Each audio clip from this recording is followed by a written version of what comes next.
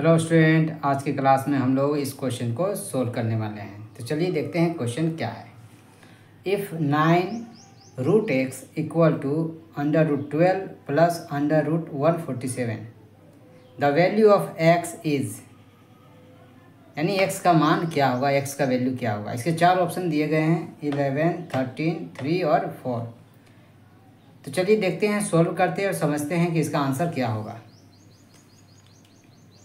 सबसे पहले हम लोग नाइन रूट एक्स लिख देते हैं। ठीक है? उसके बाद ट्वेल्व को तोड़ना है। फैक्टराइज करेंगे कैसे? Two into two into three. ठीक है? क्या आएगा प्राइम फैक्टराइजेशन कर दिए। टू टू जा फोर फोर थ्री जा ट्वेल्व, यानी ट्वेल्व को तोड़ेंगे कितना आ जाएगा। फिर क्या लिखा हुआ? प्लस। प्लस लिख देंगे। और वो रूट के अंदर वन फोर्टी सेवन है। तो वन फोर्टी सेवन को भी हम लोग तोड़ देंगे, यानी फैक्टराइज कर देंगे प्राइम फैक्टराइज तो क्या आएगा? पहले तो ये सेवन से लगेगा, ठीक है? फिर किससे लगेगा? फिर सेवन से लगेगा, और इंटू थ्री आएगा।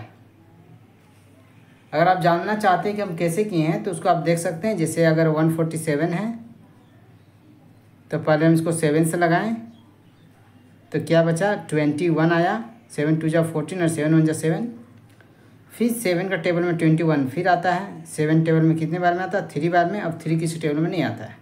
तो इस तरह से हम लोग लिख सकते हैं, थ्री वन कर दिए। क्या आया? Seven seven, three. Seven into seven into three. इसी तरह मैंने ट्वेल्व का भी किया तो क्या आया? Two into two into three. आप यहाँ तक समझ चुके हैं? अब आगे देखना क्या करना है।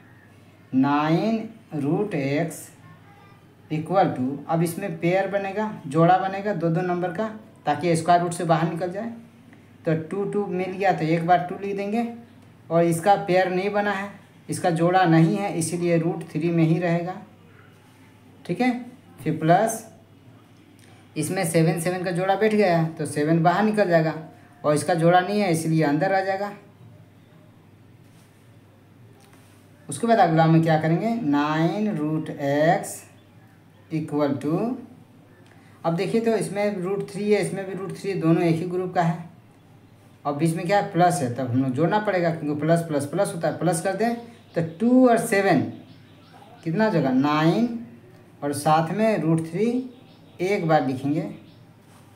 क्योंकि सिर्फ़ आगे का नंबर ही जुड़ता है, कॉमन नंबर जो है वो नहीं जुटेगा। रूट थ्री रूट थ्री को रूट थ्री लिखा जाएगा। ठीक है?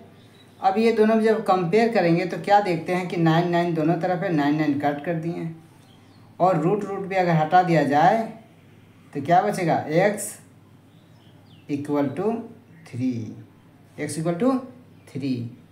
तो यहाँ एक्स का वैल्यू क्या आया? थ्री, यानी इसका आंसर सी होगा। उम्मीद है आपको वीडियो अच्छी लगी है। वीडियो समझ में भी आ गई है।